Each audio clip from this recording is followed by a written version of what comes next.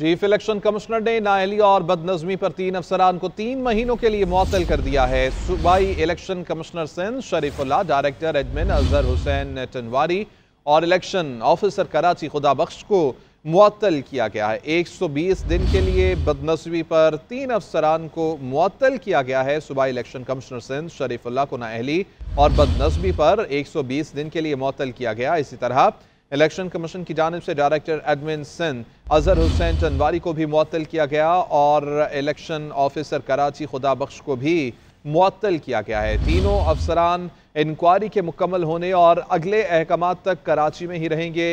ये नोटिफिकेशन जारी किया गया है।